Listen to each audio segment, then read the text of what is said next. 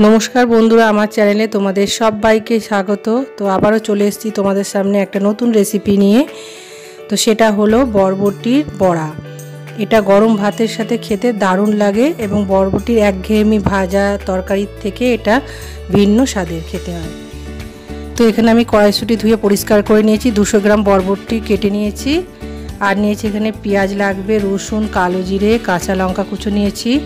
আর দু চামচ মতো রাইস ফ্লোর আর বেসন অল্প। তো প্রথমে আমি বরবটিগুলোকে সিদ্ধ করে নেব। তো তার জন্য কড়াতে গরম জল বসিয়ে দিয়েছি। তার মধ্যে বরবটিগুলো দিয়ে দেবো। আর এর মধ্যে সামান্য একটু লবণ দিয়ে আমি এটা ফুটতে দেবো।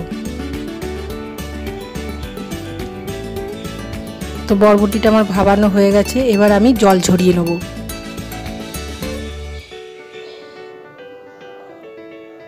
তো এটা ঠান্ডা হলে আমি এটা পেস্ট বানিয়ে নেব। তো এটা দেখো ঠান্ডা হয়ে গেছে। তো আমি একটা মিক্সির মধ্যে এবার বরবটিগুলো নিয়ে নিলাম। আর এর মধ্যে দশটা মতো রসুন দিয়ে দিলাম। তো দিয়ে একসাথে আমি পেস্ট বানিয়ে নেব। তো দেখো পেস্ট বানানো হয়ে গেছে। তো এবার একটা বাটির মধ্যে এটাকে আমি ঢেলে নেব। এবার এর মধ্যে দিয়ে দেবো পেঁয়াজ কুচনো। কালো জিরে, লঙ্কা কুচি, আর এখানে দু চামচ মতো বেসন নিয়েছি আর দু চামচ রাইস ফ্লোর।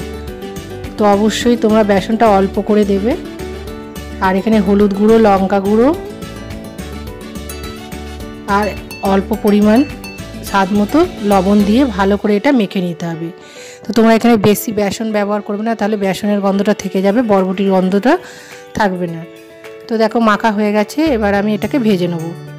তো কড়ার মধ্যে তেল গরম করতে দিয়ে দিয়েছি, তেল গরম হয়ে গেছে, এবার এইভাবে ভেজে নেব। ছোট ছোট করে বল করে দিয়ে এটা ভেজে নেব।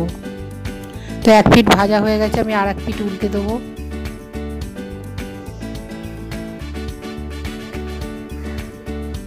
তো ভাজা হয়ে গেছে, এটা আমি একটা পাত্রের মধ্যে তুলে নেব।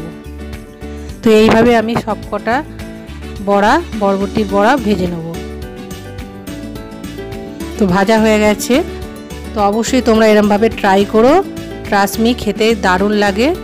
তো আশা করছি তোমাদের রেসিপিটা ভালো লেগেছে। যদি ভালো লাগে, অতি অবশ্যই লাইক করো কমেন্ট করো শেয়ার করো। আর যারা নতুন দেখছ আমার চ্যানেলটা অতি অবশ্যই সাবস্ক্রাইব করে দেবে। তো আবারও আসছি অন্য কোনো রেসিপি নিয়ে তোমাদের সামনে। ততক্ষণের জন্য টাটা।